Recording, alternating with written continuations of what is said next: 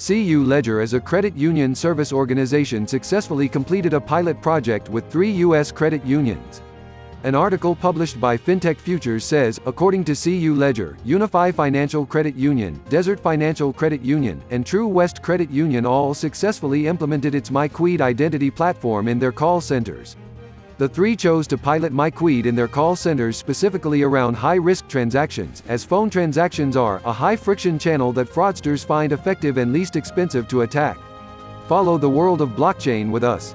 The news release partner Stex.com.